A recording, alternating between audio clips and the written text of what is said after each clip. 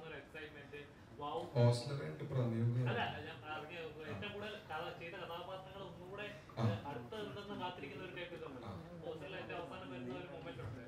Thrill അടുത്തതുണ്ട് second പാർട്ടിലോട്ട് ഉണ്ടാകുന്ന ഒരു excitement അങ്ങനെ ഒരു ആ, ഇനി ഹോസ്റ്റൽ ടു വരുമ്പോ അതിനേക്കുന്ന ആ കഥാപാത്രത്തെ വേറൊരു മുഖമായിരിക്കും കാണാൻ അവന്റെ ഡിസ്കഷൻ വന്നിട്ടുണ്ടോ?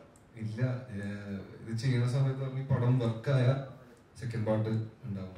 അപ്പൊ അതിൽ നീ ആയിരിക്കും അങ്ങനെ പറഞ്ഞു പോയിട്ടുണ്ട്. മനസ്സിലാവില്ല ലാസ്റ്റ് ക്ലൈമാക്സിൽ അല്ല അത് ചിലപ്പോ ഞാൻ അല്ലെങ്കിൽ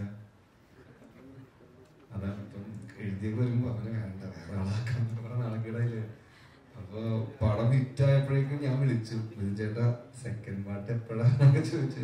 ഉണ്ടാവും പറയാം. അപ്പോഴേക്കും ആടിന്റെ പരിപാടി ഓണായിരുന്നു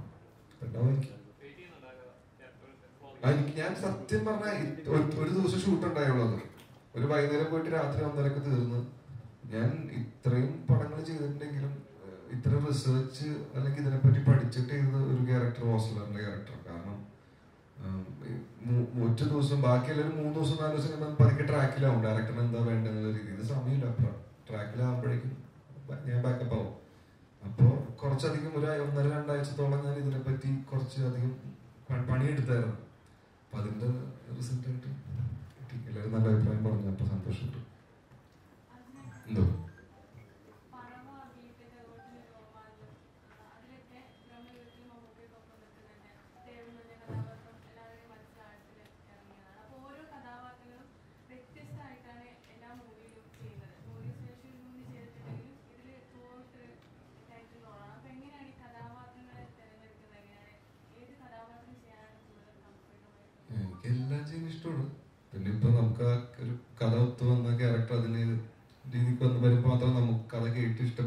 പറ്റുള്ളൂ. അപ്പൊ ഇത് ഓൾറെഡി അഭിലാഷ് ചേട്ടനും വിഷ്ണു ചേട്ടനും പിന്നെ എന്റെ ചേട്ടനെ കുറിച്ച് ഓൾറെഡി ഒരു കമ്മിറ്റ് ചെയ്ത പരിപാടിയാണ്. അപ്പോ അതിൽ വന്ന് കഥ കേട്ടു. ഈ ജസ്റ്റ് വൺ ലൈനിൽ കാര്യം പറഞ്ഞു. ഇഷ്ടപ്പെട്ടു. ക്യാരക്ടർ ഇതാണ് കൂടുതൽ അട്രാക്ട് ചെയ്യിപ്പിച്ചത്. ഇങ്ങനത്തെ ഒരു അമ്മ മകൻ ചെറിയൊരു ഫാൻസി പരിപാടി ഉണ്ട് എന്ന് പറഞ്ഞപ്പോഴാണ്. അപ്പൊ അത് അതൊരു ത്രില്ലർ സബ്ജക്റ്റിൽ പറഞ്ഞു പോകുമ്പോൾ ഏത് രീതിക്കായിരിക്കും? പുതിയൊരു രീതിയാണല്ലോ പുതിയൊരു വേ ഓഫ് സ്റ്റോറി ടെല്ലിംഗ് ആണല്ലോ എന്നുള്ള രീതിയിൽ ഇഷ്ടപ്പെട്ടിട്ടാണ് ഈ പരിപാടി ഏറ്റെടുത്തത്. പിന്നെ ഒരു റാൻഡംലി ചൂസ് ചെയ്ത സ്റ്റൈൽ ഓഫ് മെത്തേഡാണ് ഈ പടത്തിൽ ഈ ആനന്ദ് ശ്രീവാലയുടെ ആനന്ദായിട്ട് ഭയങ്കര ലോ ആയി ലോ പേസിൽ പോകുന്ന.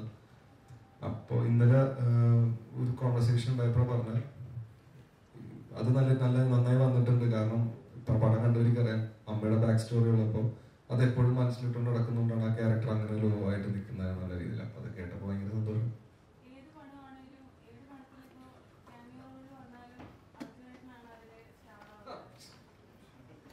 എല്ലാം പറയാൻ കുഴപ്പമില്ലാണ്ട് പടങ്ങളൊക്കെ ചെയ്ത് കുഴപ്പമില്ല അല്ല, അപ്പൊ ഇതും പ്രേക്ഷകരെ ഇത് മാടി ഇതുപോലെ തന്നെ നൂറ് ദിവസത്തിനൊക്കെ പോകുന്നത് നമ്മളെല്ലാ പടവും ചെയ്യണതും കമ്മിറ്റ് ചെയ്യണതും ആൾക്കാർക്ക് ഇഷ്ടപ്പെടാനും നല്ല രീതിക്ക് തിയേറ്ററിൽ ഓടാൻ വേണ്ടിയാണ്.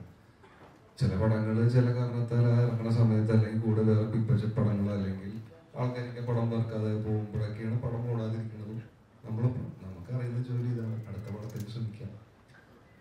ആൾക്കാർ ഏറ്റെടുക്കും എന്നുള്ള നല്ല പ്രതീക്ഷയുണ്ട്. കാരണം ഫസ്റ്റ് ഷോ കഴിയുമ്പോൾ തന്നെ നല്ല നല്ല റെസ്പോൺസ് ഉണ്ട്. എല്ലാവർക്കും ഇഷ്ടപ്പെട്ടു എന്ന് പറയുന്നുണ്ട്.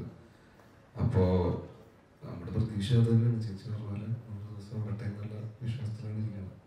ഡേ വൺ ആയിട്ടുള്ളൂ ഇടയ്ക്കുണ്ട് തൊണ്ണൂറ്റൊമ്പത് ദിവസം.